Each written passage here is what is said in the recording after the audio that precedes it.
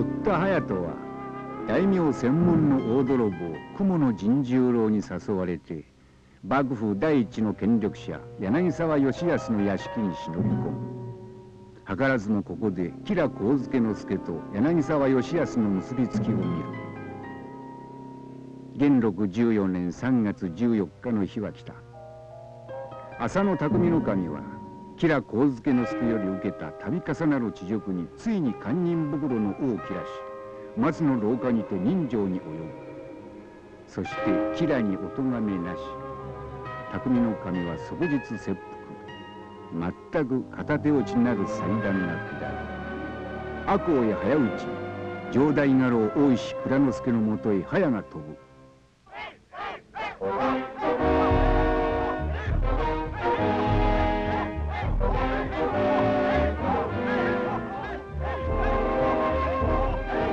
一の早は松の廊下で人情事件が起こった直後出発した。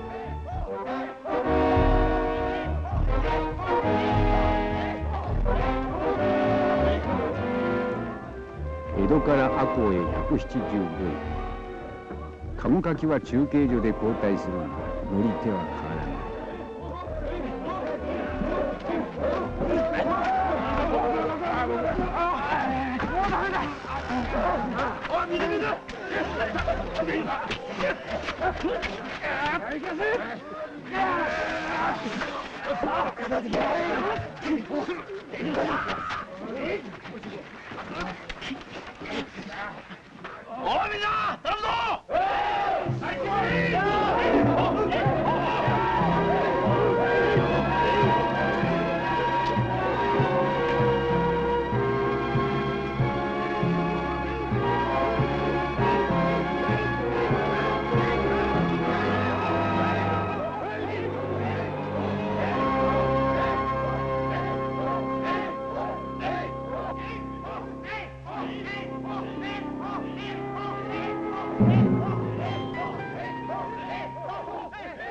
夜も昼も寝ないでぶっ飛ばす。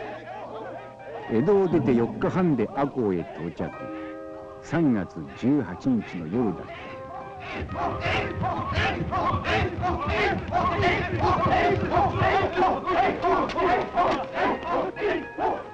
お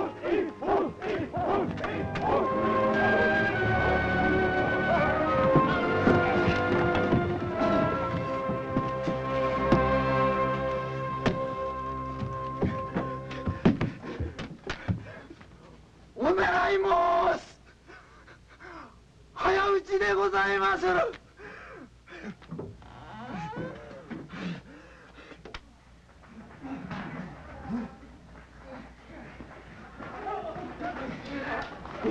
一大事一大事何事でございます一大事でございます大変お答えいたすかはい旦那様お休み中でございますがなんだ？はい。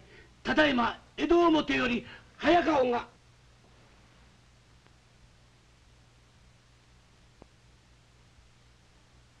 早は種だ。早見東左衛門殿と茅野三平殿でございます。早はいつ江戸を出た？14日と仰せられましたが。何？14日？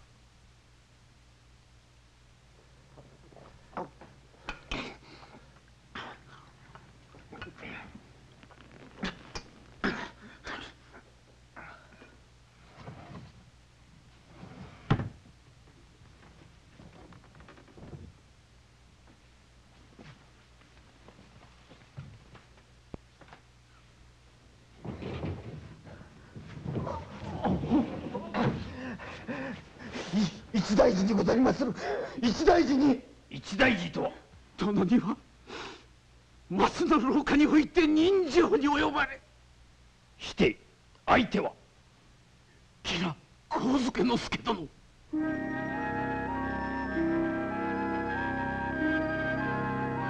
片岡源五右衛門様よりこれなる手紙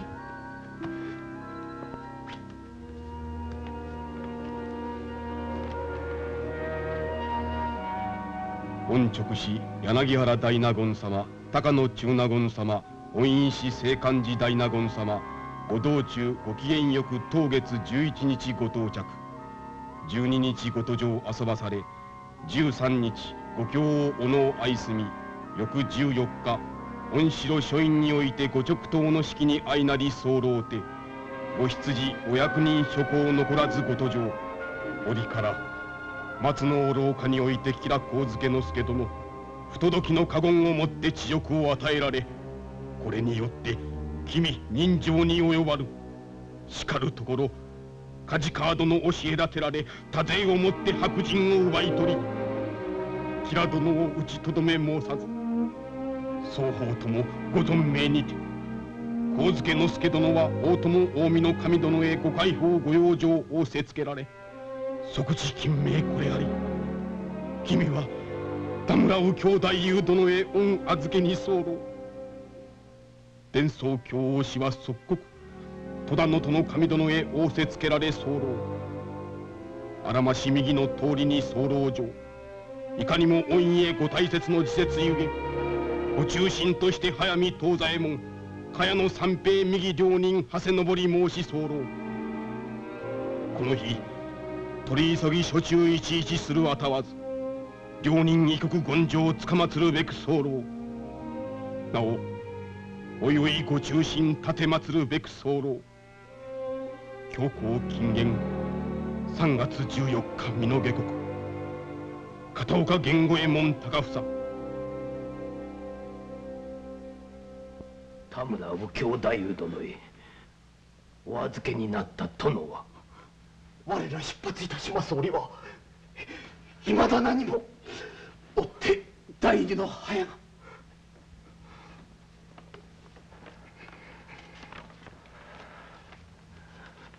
お役目ご苦労。下がって休息なされ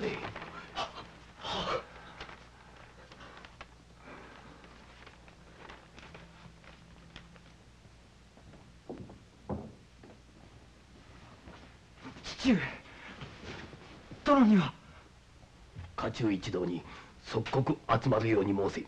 はい。力武漢を持ってこい。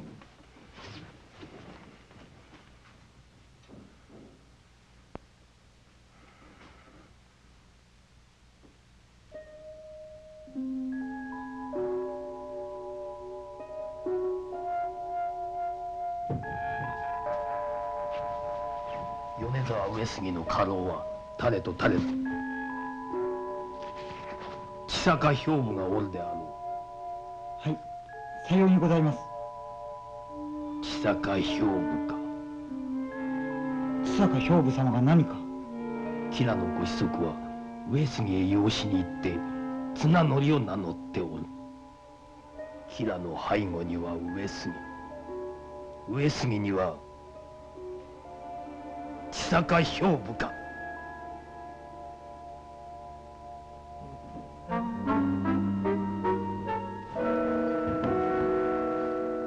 呼びでござりましたかああ武漢を持ってきてくれないか。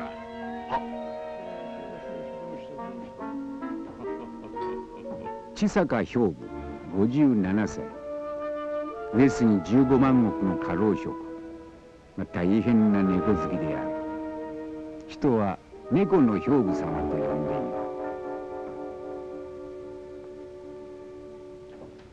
浅野の城代家老は大石蔵之介だったな。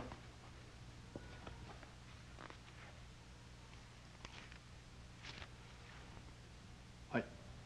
さようでござります。そうか。やはり。何か？そう。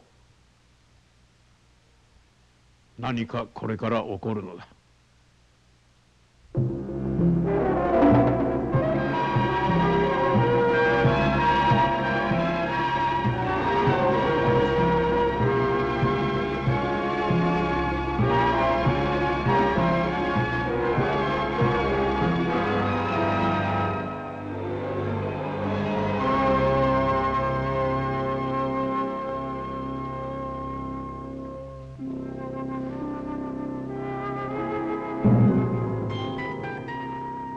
ご一同にお集まり願ったのは別にではない。昨夜江戸表より早見東左衛門茅野三平の両人早にて到着。殿中松のお廊下において起きたる凶変が知らされた。殿様には殿中松のお廊下において吉良上野之助殿に人情に及ばれました。はいかに吉良上野之助殿はいかがなされました。何故に吉良に。連中においての人情はお家は断絶でござりまするが。殿には田村右京太夫殿のお屋敷へお預けになったことだけは分かりましたが詳しいことは分かりません。間もなく第二の使者が知らせてくると思う。田村屋敷へお預けとはご切腹でござりまするかそれはまだ分かりません。吉良上野之助殿には何のお咎めもないのでございますか？ええつべこべ申すまい。第二の早を待たしたい。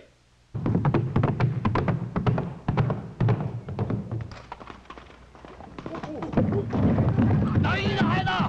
行け！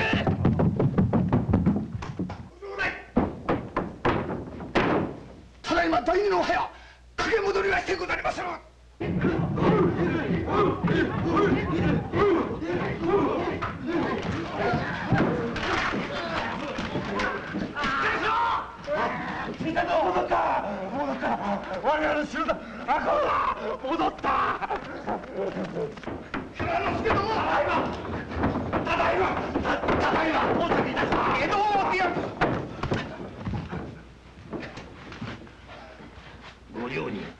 そのお姿は何たること？座を直され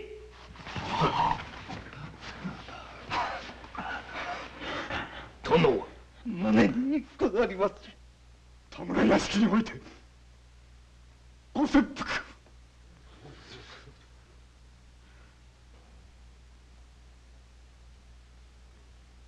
書状は。ご舎弟大学様よりいただいてまいりました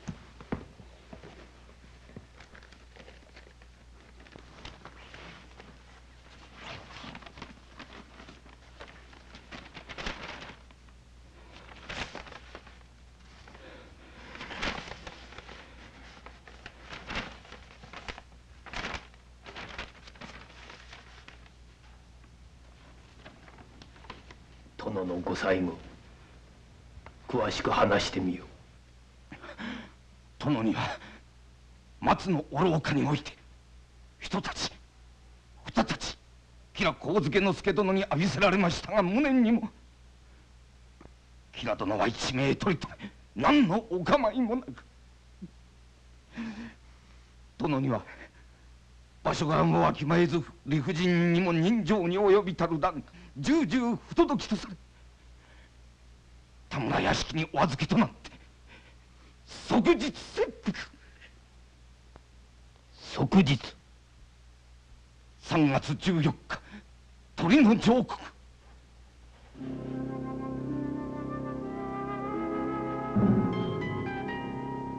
公儀のご裁断は厳しく。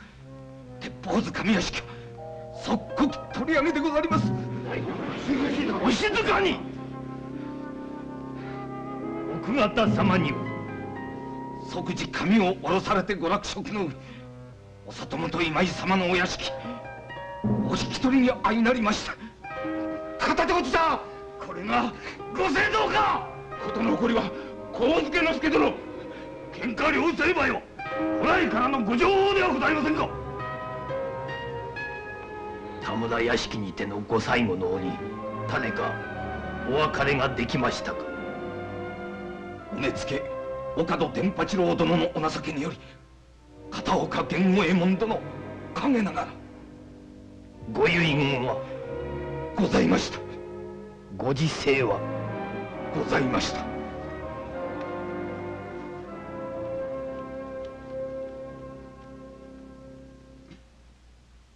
かねて知らせおきたく存じながらそのいとまもなく定めし今日のことを聞かば不審にも存ずるであろう。それだけか。はい。かねて知らせをきたく存じながらそのいとまもなく定めし今日のことを聞かば不審にも。不審にも？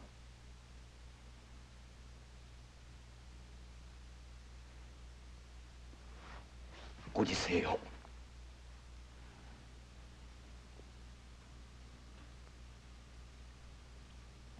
風さそう花よりもなお我はまた春の名残をいかにとやせん。風さそう花よりもなお我はまた春の名残を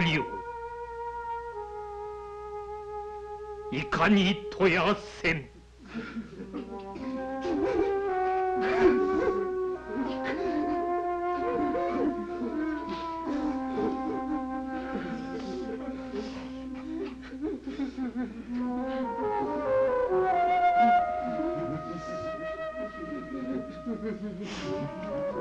ご舎弟大学様よりの書状は一同慎んで待ち公儀のご祭壇に従うようにとのことでござった。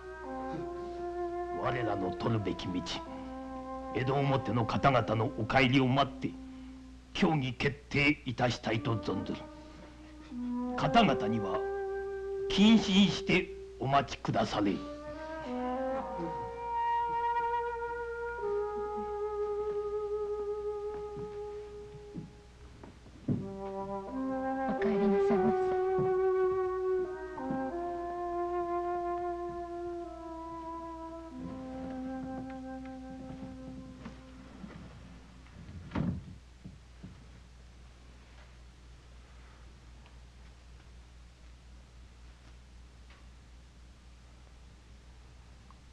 父上。なんだ？大野黒兵衛様が会いたいとおっしゃいまして。今は誰にも会わん。はいわかりました。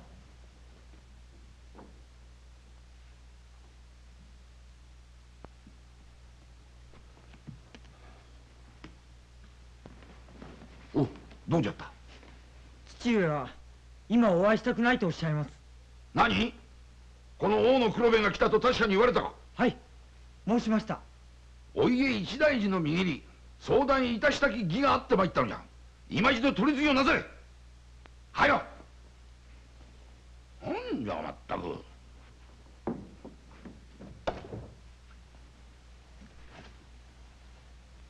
父上。大野様が火急の用事にて急ぎお会いしたいとのことでございます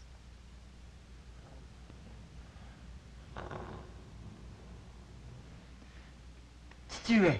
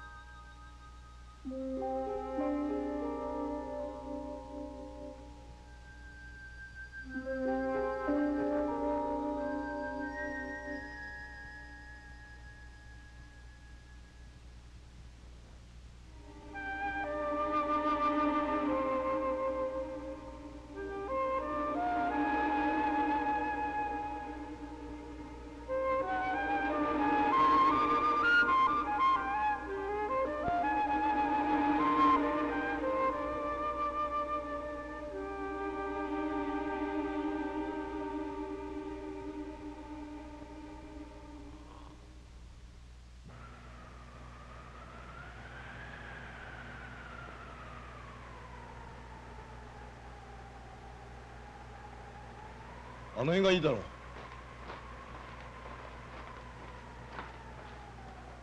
う。よしここにしろ。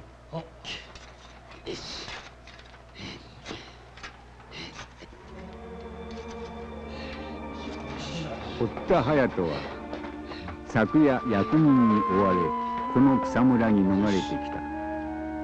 そして眠った。昼になってもまだ覚めない。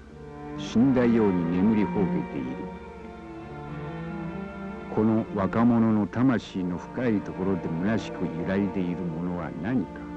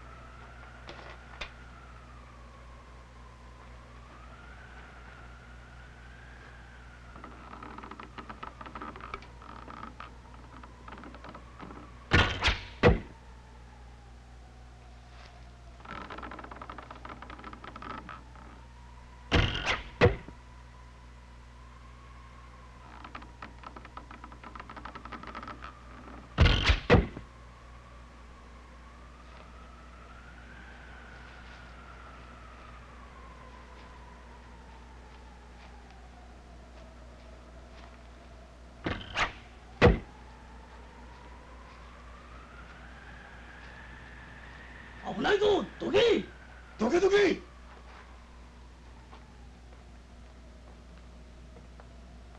上杉家の小林平七殿ではござらぬか。いかにも。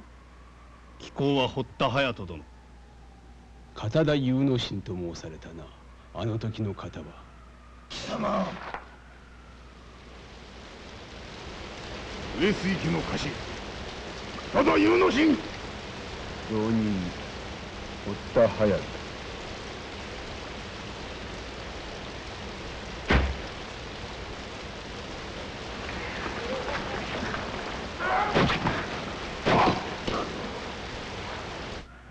片田祐之進殿の敵撃たれてもよいが撃たれる？さよう。尋常に。我らを真剣に探しておられたか？いやたった今ふとそんな気になった。ここでは話もできぬ。屋敷まで来られい。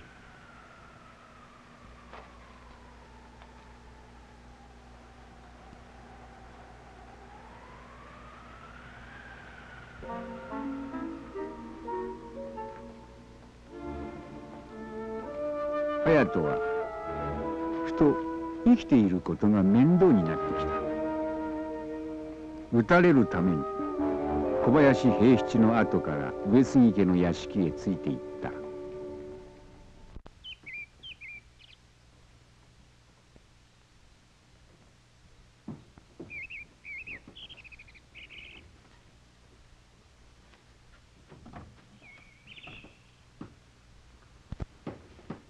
まだお若いのに命を惜しいと思われんのだな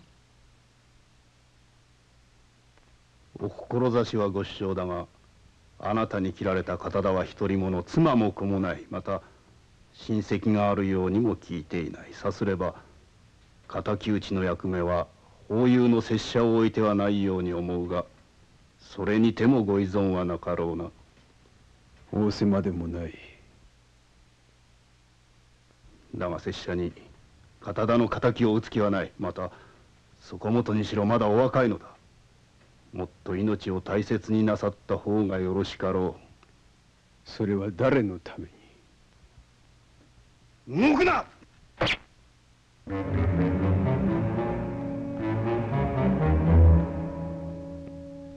平七は隼人の本心を確かめようと思った。隼人が体を交わして避けるだろうと思った。だから狼狽した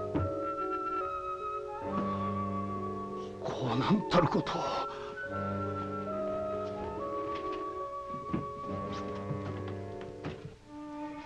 三平三平はい医者だ。すぐに頼む。はい。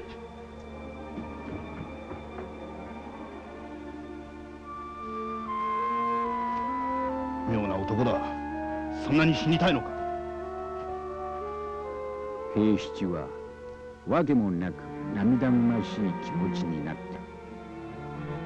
た。上杉十五万石の当主綱則吉良上野介の息子である。上杉家へ養子に行ったのだ。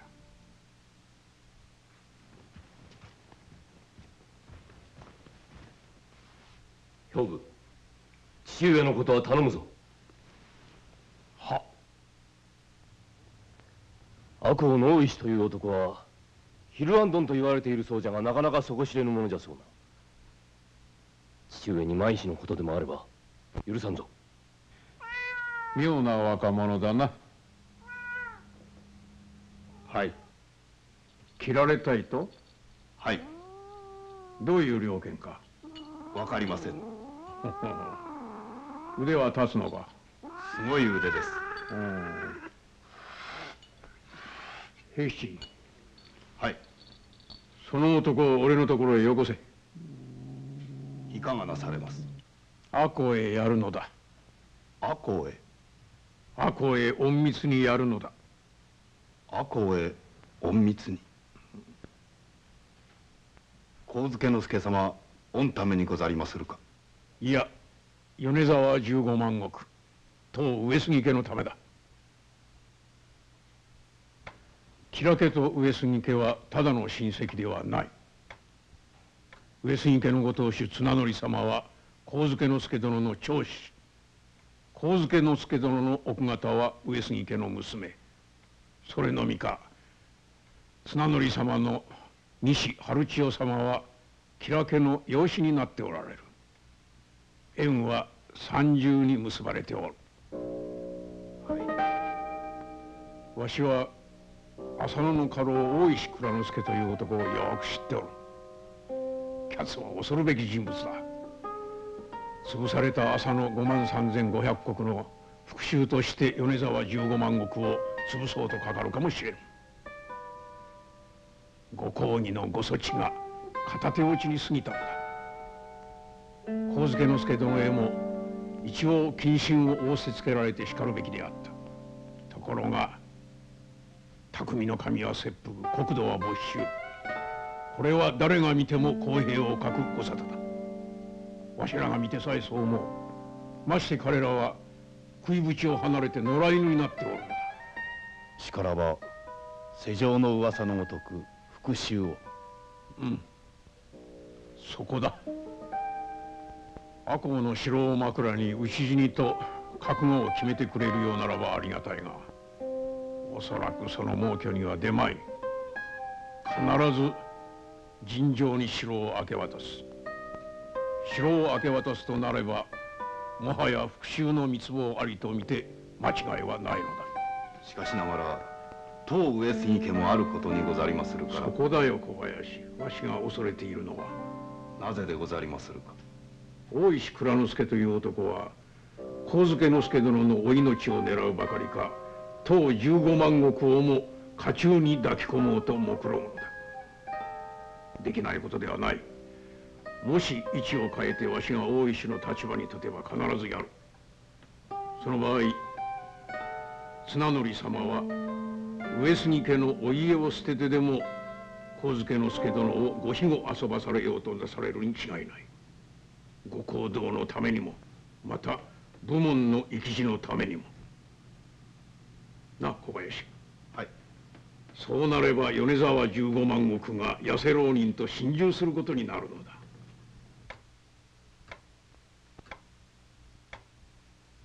我々は困った立場に立たされている。好まずして敵役に回っている。世間からの憎まれ役だ。赤穂の禄を離れた者と15万石では弱い者に味方するのは当たり前だからな。はい。だがまた上野之助殿に万一のことがあれば上杉15万石がついていて何たることかということになる。ここだよ小林。わしはな表面から上野之助殿に加勢するのはなるべく避けたいと思うのだ。綱則様は赤穂の浪人どもには指一本触れさせてはならぬとおっしゃる。ここが危険なのだ。そこでわしが考えたのは利面の働きだ。世間に感づかれないように隠密にことを図って赤穂の復讐の計画を突き崩してしまいたいと思うのだ。わしと大石の相撲だ。どうやら不足のない相手らしい。わしは死に物狂いなのだ。どうだ？その若者は適当か？よろしいでしょよし。会ってみようその若者に。う間もなく傷も治ると思います。どうだ？やってみるか。大石を切るのですか？いや切りはせん。彼らの意図をくじくのだどうやって？その指図はわしがする。私は指図のままに動くだけですか？そうだ。指図通りに正確に目的通りに動く。そりゃ面白いぞ。面白いのはあなたでしょう。面白くないとは言わぬ苦しくもある。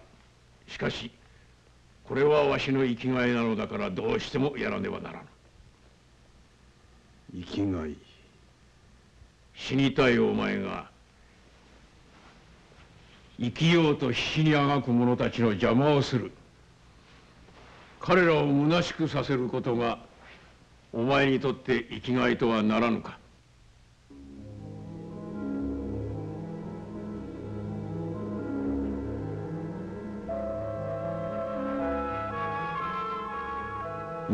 ましょう。うん。やってみるがよい。先日死んだばかりですから生まれ変わって生きるのも面白いでしょう。ところでお願いがあります。金ならいくら使ってもよいぞ。いや金ではありません。私には仲間が一人おります。その男も私同様の扱いにしていただけませんか何をしておる男だ？大泥棒。大泥棒？はい。大名専門の。今でもやっておるのか？はい。冗談はよせ。推薦します。役に立つ男です。大名専門の大泥棒と聞いたが当上杉家も入ったことがあるのか？え？え？え？たった一度だけ。何を盗んだ？えいえ何も盗みはいたしません。泥棒の本分は盗むことにあるのではないのか？え？盗まれた方が悪いんだ。怒りはせんぞ。あっしの目的はお侍さんの間抜けなアホ面見てえから入るだけで銭は別に。泥棒にも三分の理屈というが、うん、よかろう。雲の陣十郎と呼ぶのはなぜだ？ええ。なぜって言われましても。まあこういう印があるからでござんしょうな。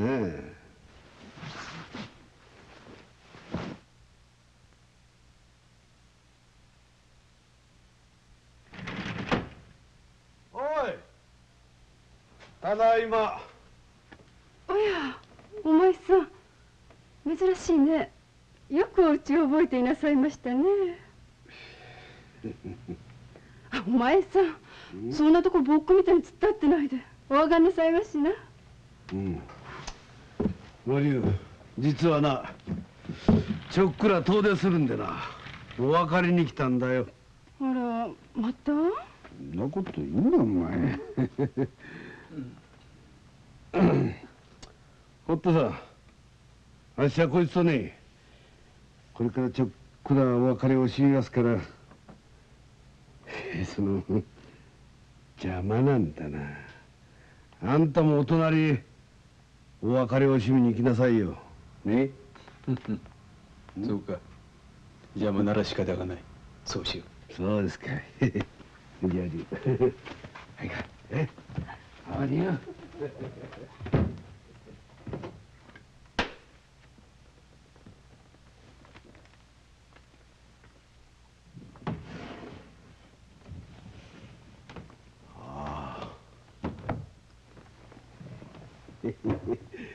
悪いですな。え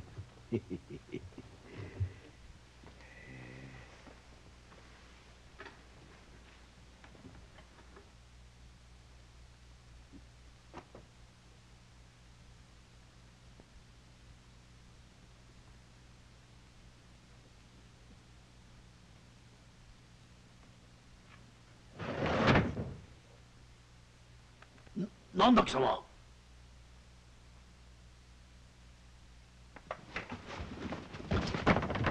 ななんだ。若い人はどどうも無茶をしなさる。お落ち着け。落ち着け。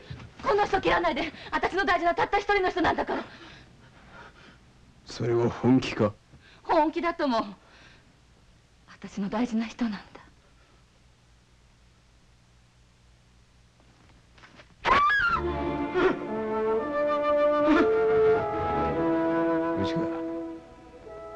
生きるんだ。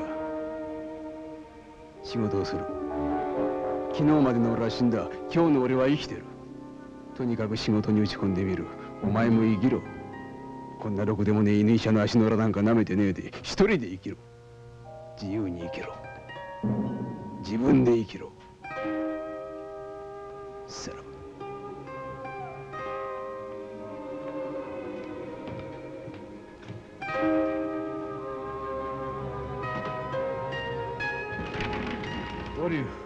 それじゃ行ってくるよ。お前さんん？また戻ってくるんだろうね。命があったらな。あばよお前さん一体どこ行くのさ？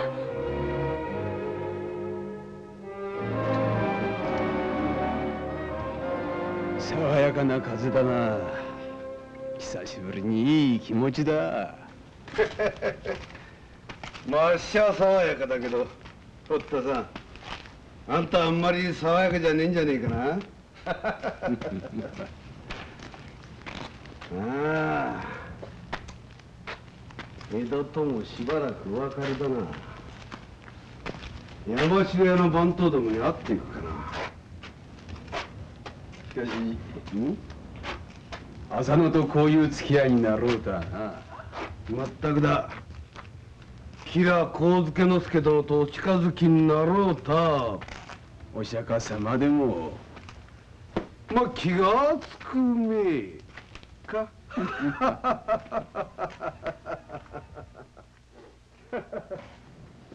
あ？なんだ？もう店閉めてるな。早じまいしたのかな。もう私がおらんとすぐこれだから。はいただいま。中七。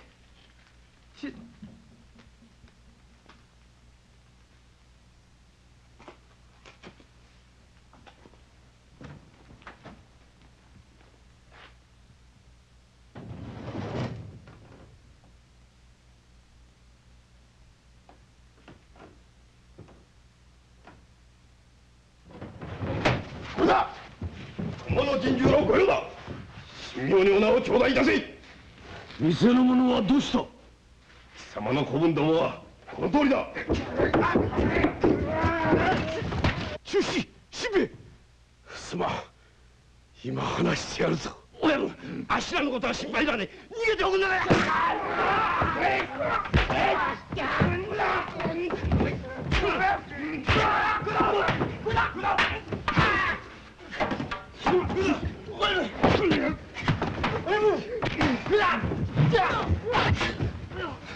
中止しべ逃げろ縁があったらまた会おうぜ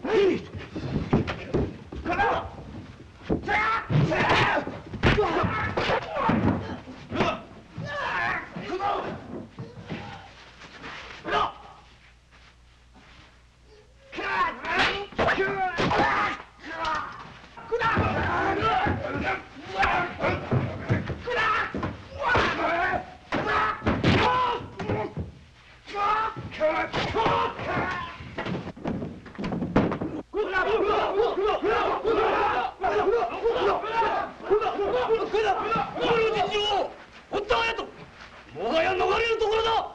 観念しろ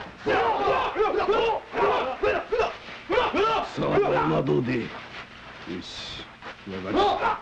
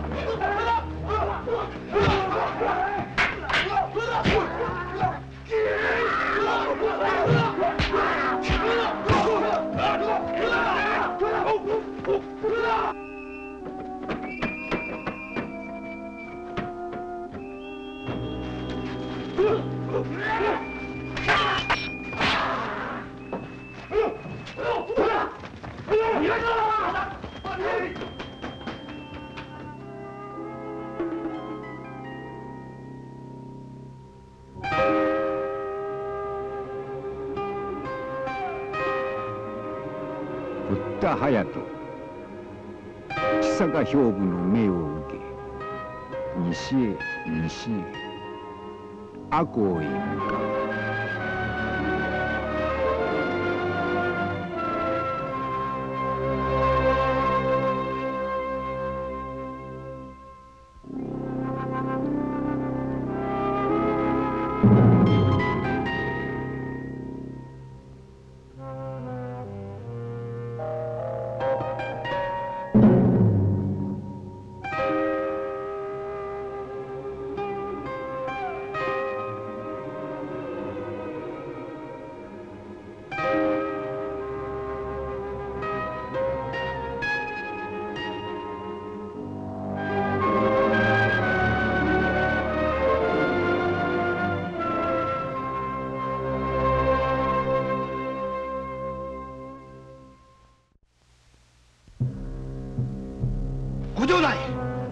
ご城代のご意見を承りたい。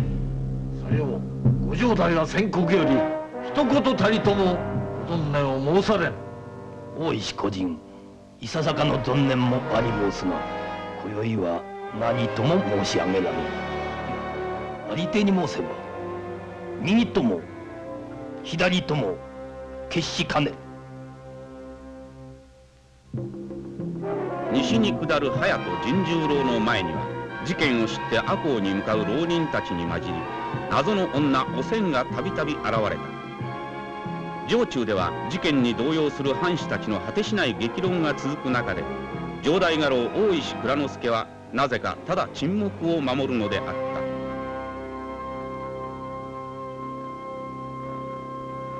た。赤穂浪士第4回女郎雲にご期待ください。